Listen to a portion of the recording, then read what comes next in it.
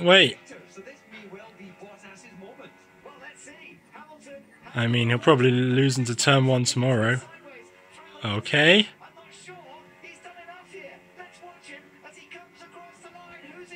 Yes! Yes!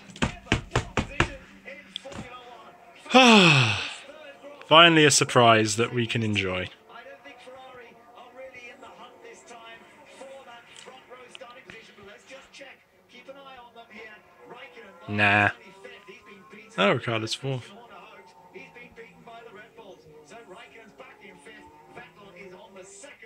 Grid. It's the first Mercedes 1-2 of 2017.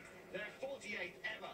But Valtteri Bottas becomes the fifth Finn in history of Formula One to get a pole position, following on from Keke, Rosberg, Mika Hakkinen, Kimi Raikkonen himself, and Heikki Kovalainen, who was in fact the last Finn to get a pole position, the British Grand Prix of 2008, which was funny enough just after Raikkonen had his last. So that is pole position, Valtteri. That is pole position. He can. Yes. First one, guys. Thank you. Thanks, guys. Really happy. Yeah, he should be happy. And for Mercedes.